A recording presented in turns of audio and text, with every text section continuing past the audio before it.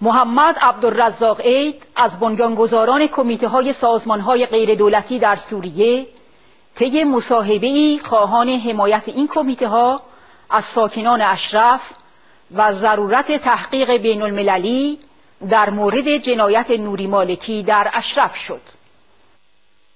أنا كاتب ومفكر سوري يعني الاسم الكامل هو عبد الرزاق عيد. من مواليد حلب أستاذ جامعي وكاتب والآن يعني أنا من مؤسسي لجان إحياء المجتمع المدني في سوريا. والآن أشغل موقع رئيس إعلام دمشق في الخارج. وبالتالي أنا من موقعي هذا وباسمي أتوجه إلى الأخوة المتظاهرين يوم 13 أيلول برفع الصوت عاليا في مواجهة هذا التدخل السافر من قبل ملالي إيران ومن قبل الحرس الدو الثوري ومن ثم بمعونة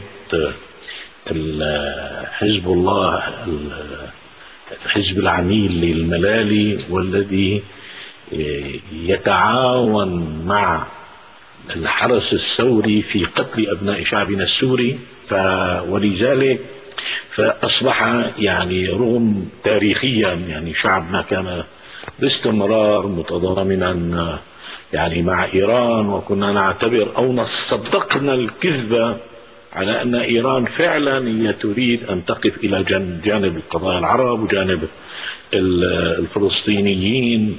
في سبيل استعادة حقوقهم. لكن الآن الشارع السوري يكتشف هذه الأكاذيب وهذا وهذا الخطاب الماكر والمخادع الذي يريد باسم القضية الفلسطينية واسم دعم قضايا الشعوب العربية في نضالها. تريد إيران أو يريد ملالي إيران وولي فقيهها في طموحات الهيمنة والتدخل الذين لم يتركوا منطقة في سوريا. ومن هنا يعني نحن نجد أنفسنا في موقع واحد مع المعارضة الإيرانية في مواجهة تدخلات الملالي في سوريا وفي العراق وفي المنطقة.